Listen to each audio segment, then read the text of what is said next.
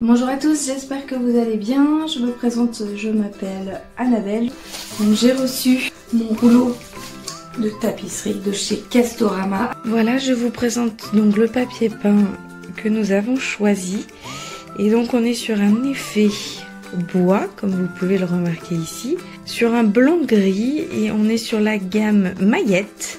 C'est un vinyle avec une matière, il me semble, vinyle sur une base en un tissé et on est euh, sur la euh, gamme Good Home où on est euh, sur une longueur de 10 mètres par rouleau et une largeur de 52 cm par lait. Le papier est très épais.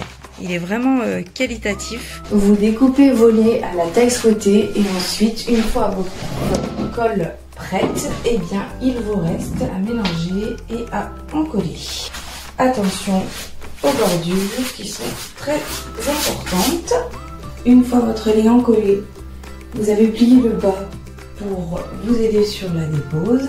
Il ne vous reste plus qu'à positionner votre lait. Votre marouflette va pouvoir également vous servir pour découper vos jointures.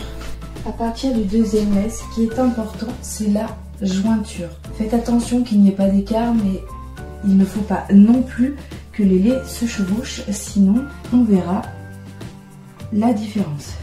Dans son ensemble, je suis très satisfaite. Pourquoi? Parce que les jointures sont très simples à réaliser. Voilà.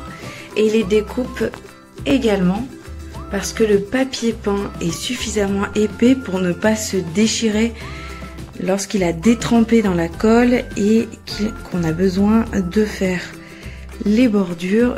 Je suis vraiment satisfaite de ce papier peint qui a un rendu en plus de dingue pour une tête de lit. Moi j'aime beaucoup.